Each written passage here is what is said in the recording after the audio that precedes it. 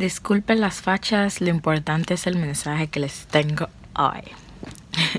lo que le vengo a decir a ustedes es que estén orgullosos de quien ustedes son. Háganlo por ustedes, cualquier cosa que ustedes quieran hacer, háganlo por ustedes.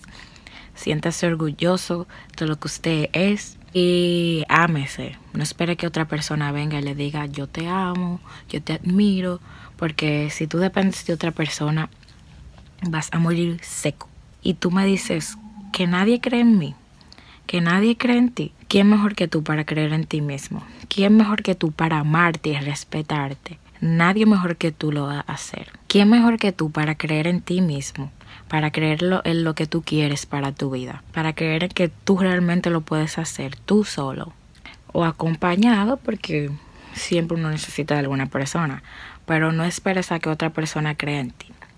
Con el hecho de que tú creas en esa idea que tú quieres idealizar, que tú quieres materializar, con eso basta y sobra.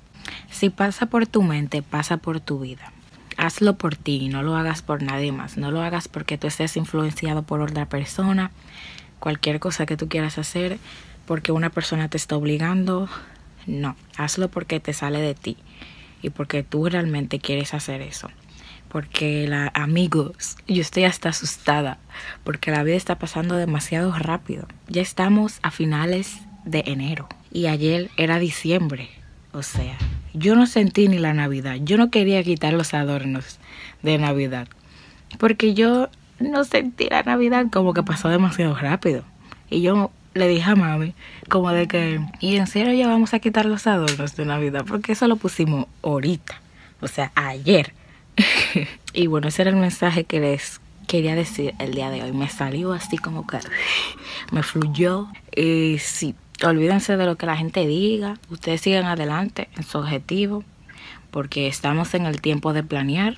Ahora, al principio del año, invierno.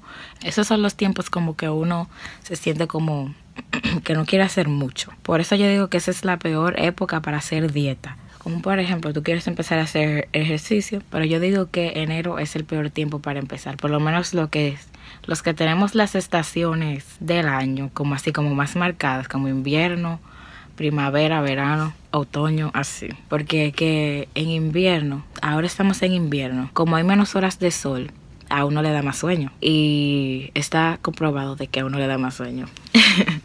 y es difícil así como empezar con una meta como esa, como empezar a hacer ejercicio o una dieta, es súper difícil, la verdad. Entonces yo digo que este tiempo de invierno es como para uno planear.